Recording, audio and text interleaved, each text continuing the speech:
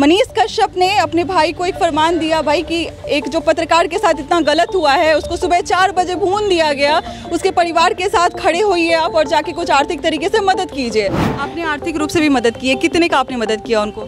भाई ने कुछ और ही बोला था कि कुछ- और ही अमाउंट करने के लिए, लेकिन हमारी स्थिति थोड़ा सा ख़राब है। लेकिन फिर भी हम लोग इक्यावन हज़ार किए और आगे भी करेंगे। देखिए, उनकी परिवार बहुत डरी हुई है। जब उनके फादर बोले कि हाँ जब मुझे रोड पे जाने में मुझे डर लगती है। बेटे को मार दिया गया फिर दूसरे बेटे को मार दिया गया। मैंने पूछा भी कि हाँ जी कैसे हुआ? तो बताने को रेडी नहीं है डरा हुआ फैमिली है। एक पत्रकार एक सैनिक के समान होती है। सैनिक क्या कर आर्मी क्या क्या करती है? देश की रक्षा करती है और पत्रकार क्या करता है? समाज की रक्षा करता है। नमस्कार, मैं अंजलि और आप देख रहे हैं द इंडियन स्टोरीज। वापस से मनीष कश्यप ने कुछ ऐसा कर दिया, जेल में रहते हुए कुछ ऐसा कर दिया, जिससे उनके फैंस जो है वो वापस से खुश हो चुके हैं और शायद बाहर रहने वाले लोग, जो जेल से बाहर है, जो रिहा हैं, जो बिल्कुल आज़ाद घूम रहे हैं, उन्होंने भी नहीं सोचा कि कुछ ऐसा स्टेप उठाना चाहिए।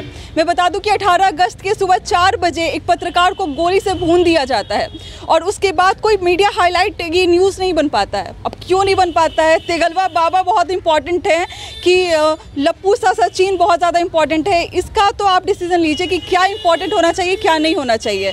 इन सारे मुद्दों को छोड़कर हम, जितने गंभीर मुद्दे हैं, उनको छोड़कर हम इंटरटेनमेंट वाले मुद्दों को जो है वो इंटरटेन कर रहे हैं। मनीष कश्यप ने अपने भाई को एक फरमान दिया भाई कि एक जो पत्रकार के साथ इतना गलत हुआ है उसको सुबह चार बजे भून दिया गया।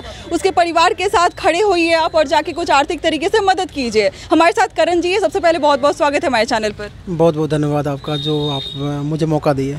आप मनीष कश्यप की जगह जो है वो जाते हैं पत्रकार के घर पे। पहले ये बताइए कि आपको कहाँ से संदेश मिला? कौन किसने आपको ये गाइड किया कि आपको जाना चाहिए वहाँ पे? एक्चुअली क्या आया था बिमल मंडल के जब हाथ काटे थे वो भी एक समाज के लिए तो मनीष कश्यप वहाँ पे रिपोर्टिंग करने गए थे।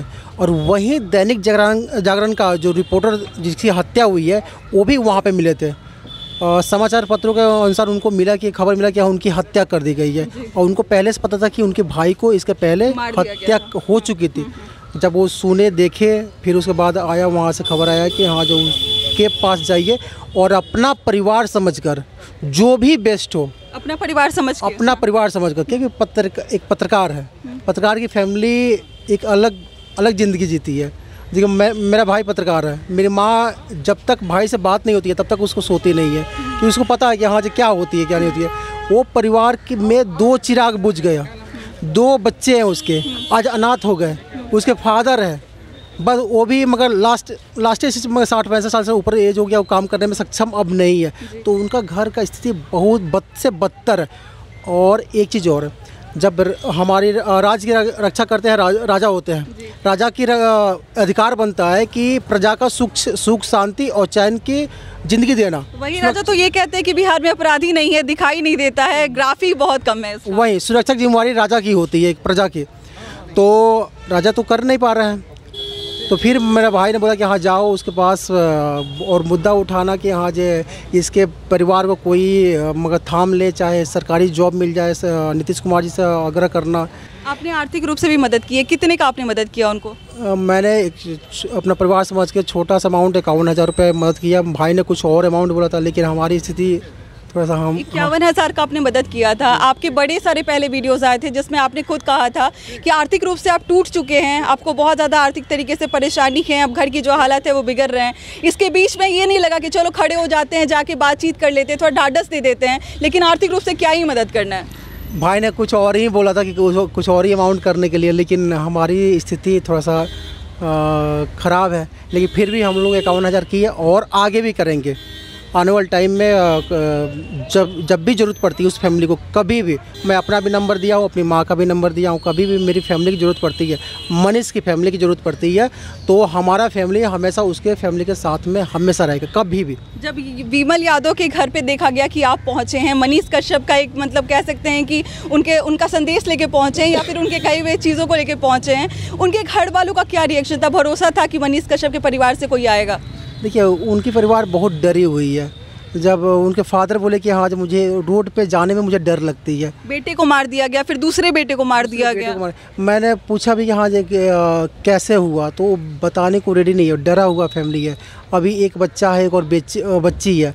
आ, उस बच्चे की आ, सूरत देख रहा है लोग उस चेहरा देख रहा है कि हाँ कल होकर मेरे बच्चा जो दो बच्चे बच्चे हैं उसकी कहीं हत्या ना हो जाए चाहे उसकी कोई दिक्कत ना हो जाए। इसलिए फैमिली बहुत डरा हुआ लेकिन जो हुआ बहुत गलत हुआ दो दो चिराग उस उस घर से मगर मिट गई।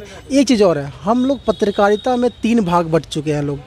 डिजिटल मीडिया अलग प्रिंट मीडिया अलग इलेक्ट्रॉनिक मीडिया अलग इलेक्ट्रॉनिक मीडिया डिजिटल मीडिया नहीं देखना चाहती है डिजिटल मीडिया उसको नहीं देखना चाहती है।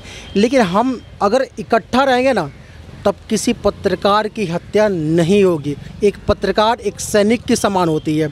सैनिक क्या कर आर्मी क्या क्या करती है? देश की रक्षा करती है और पत्रकार क्या करता है? समाज की रक्षा करता है। यही समाज का कोई कमी होती है या कहीं कुछ होती है तो उसकी आवाज़ उठता है। हमारी आवाज़ बनता है यही पत्रकार।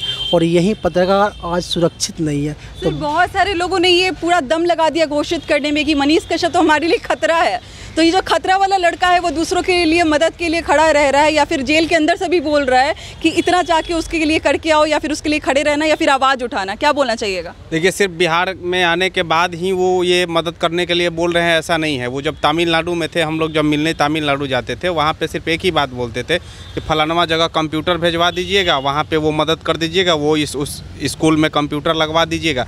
वो अपने लिए कभी बात ही नहीं करते हैं। हम लोग उनका हाल चाल स्वास्थ्य जानना चाहते हैं तो उसको टार के वो बोलते हैं कि लोगों के बारे में बात कीजिए आप। मतलब खतरा बोला जाता है और वही खतरा वाला इंसान जो है वो इतनी बड़ी हाँ, बड़ा एक स्टेप उठा हाँ वो खतरा तो उन पे होना ही चाहिए। एन उन पे लगना चाहिए। एक दौड़ था जब सिवान में पत्रकार का हत्या हुआ करता था। उनका भी दो तीन भाई का हत्या हो गया था। आज फिर अररिया में एक पत्रकार के दो भाई का हत्या हो गया। परिवार जला दिया गया। उन लोगों पे एनएसए और कोई एक्ट का ज़रूरत नहीं है सिर्फ़ मनीष कश्यप पे एनएसए की ज़रूरत है। तो ये सवाल पूछा जा रहा है ना कि पत्रकार की मौत पे आखिर सवाल क्यों उठाए जा रहे हैं? तो पत, कोई भी अपराध अपराध होता है लेकिन उसके बाद प्रशासन कैसा उस पर स्टेप लेती है कैसा कदम उठाती है वो मैटर करता है कि आप क्या समझ रहे हैं क्या सोच रहे हैं समाज को किस तरीके से आप आगे ले जाना चाहते हैं? और कोई विशेष बातचीत आपसे मनीष कश्यप की हुई होगी? जी एक ये एक एस एच ओ हैं समस्तीपुर की। उनका गौ तस्करों द्वारा हत्या कर दी गई थी। उनके परिवार को जाके वहाँ पे उनका हालचाल जानना और आर्थिक कुछ सहयोग पहुँचाना यही टाइप का उनका संदेश था। इस स्थिति में जबकि आर्थिक स्थिति बहुत ही ख़राब है लाचार है उसके बाद लोगों के लिए सोचना और वैसे व्यक्ति पे एनएसए लगाना कहाँ से जायज़ हो सकता है? इन सारे इंसिडेंट के बाद ना मेरे मन में एक पहले का दौर आता है जो एक इंसिडेंट हुआ था बड़े पत्रकार थे जिनको एक हॉस्पिटल में जाने से रोका जा रहा था और बेदखल कर दिया गया वहाँ के दरवाजे से। और एक मात्र यूट्यूबर मनीष कश्यप जो यूट्यूबर आप बार बार कहते हैं ना वो मनीष कश्यप वहाँ पहुँचते हैं और उनके लिए आवाज़ उठाते कि भाई किसी भी पत्रकार के साथ ये अपमान नहीं होना चाहिए था। जी। और उस उस हॉस्पिटल को हम लोग ने तीन आईसीयू बेड भी देने का काम किया था जिस उसी हॉस्पिटल को आपने तीन आईसीयू जी जी। उसी हॉस्पिटल को तीन आईसीयू बेड दिया गया था जिस हॉस्पिटल में एक पत्रकार को घुसने से रोका गया था। और वैसे ही मतलब ये जो इतने ऐसे ऐसे मुद्दे हैं ना जिनको हाईलाइट होने से रोक दिया जाता है। और जो कुछ ऐसे लोग होते हैं, मनीष कश्यप जैसे जो लोग होते हैं, वो कहीं ना कहीं आगे बढ़ के कदम बढ़ाते हैं और तब जाके लोगों के लिए प्रेरणा बनते हैं। तब जाके आज बिहार वाले उनके ऊपर जान निछावर करते हैं। इसके बीच जब लोगों को ये पता चला कि मनीष कश्यप के कहे जाने पर एक मतलब आर्थिक तरीके से मदद की गई, वहाँ उपस्थित होकर उनको शारीरिक तरीके से मदद की गई तो कहीं ना कहीं उनमें बहुत ज़्यादा खुशी है इस बात की कि अभी भी मनीष कश्यप जो है, वो लोगों के बारे में सोचते जैसा सर ने कहा था कि जब वो मिलने जाते थे जेल में तो वो ये नहीं कहते थे कि वो क्या खा रहे हैं, क्या पी रहे हैं, उनकी स्थिति क्या है। वो ये सोचते थे कि भाई, हमारे बिहार वाले कैसे हैं, क्या कर रहे हैं, कंप्यूटर बांट दीजिएगा, बच्चों के लिए कर दीजिएगा। तो कैसा लगा, क्या बातचीत आपने देखा भी, क्या बातचीत हुई हमारी, कैसा लगा? कोई प्रश्न है तो आप पूछ सकते हैं। करण जी से लगातार हम परेशान करते रहेंगे, बातचीत करते रहेंगे, क्या मनीष जी बोल रहे हैं, वो आप तक पहुँचाते रहेंगे। मिलते अगले वीडियो में एक नई कहानी और एक नई जानकारी के साथ। बहुत बहुत शुक्रिया।